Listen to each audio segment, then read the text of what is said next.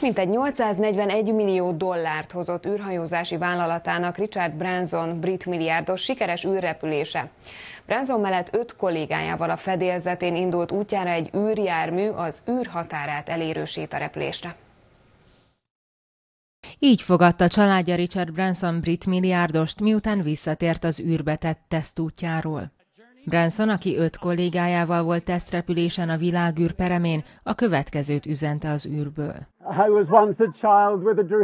Minden gyereknek, akik lentről néznek, én is voltam egyszer gyerek, és álmodozva néztem fel a csillagokra.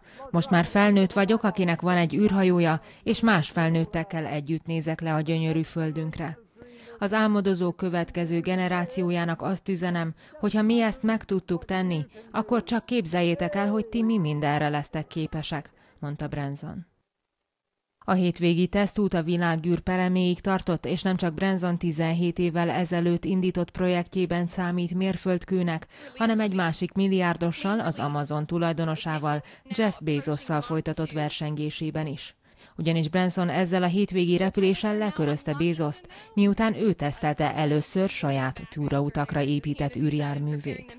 Habár a kilövés 90 percet késett, az izgalmak ellenére az űrrepülő legénysége két órával később sikeresen és épségben visszatért a Földre.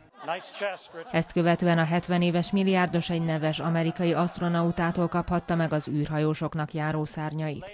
Az útról pedig elmondta, hogy életre szóló élmény volt. Tesztrepülése nem mellesleg több mint 840 millió dollárt hozott Virgin Galactic nevű űrhajózási vállalatának.